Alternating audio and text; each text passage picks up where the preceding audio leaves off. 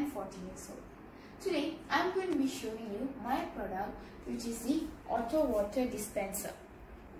The science concept I've used in this innovation is electricity. As you can see here, I've used series circuit.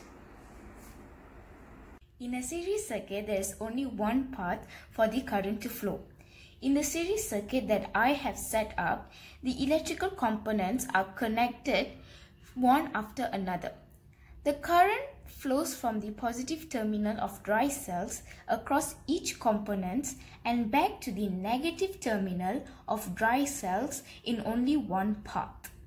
I've minimized the electrical component in this circuit because adding too many electrical component can increase the resistance which decreases the electric current.